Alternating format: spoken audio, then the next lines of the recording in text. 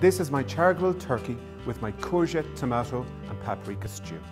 I love serving turkey in different ways. I love eating it all through the year. I'm simply going to char grill the turkey breast. Rub some olive oil on either side and season with salt and pepper. If you have a char grill, that's brilliant. It gives a lovely bit of extra flavour. If not, don't worry. Simply grill the turkey or pan fry it.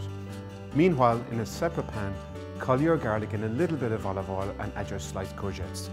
Turn them around over the heat for a couple of minutes, no more. Then add your tomatoes, your honey, your paprika, your salt and pepper.